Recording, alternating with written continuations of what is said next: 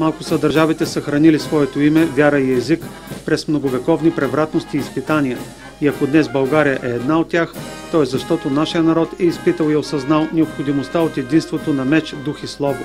С тези думи президентът и върховен главнокомандващ на въоръжените сили Румен Радев започна словото си пред строените стотици представители на българската армия на жълтите павета в центъра на София. Защото българската армия е школа за патриотизъм и мъжество.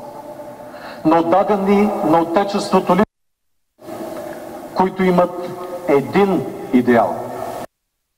Свободна, силна и благоденстваща България.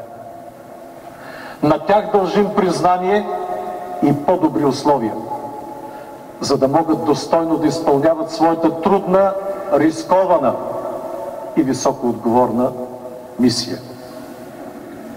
И да не забравяме, че днес, 6 май, е и ден на храбростта.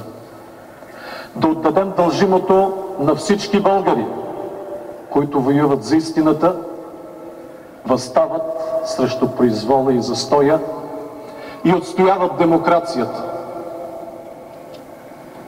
В тях е надеждата за една по-справедлива, по-човечна и просперираща България. След словото на президента бе даден старт на военния парад за 6 май.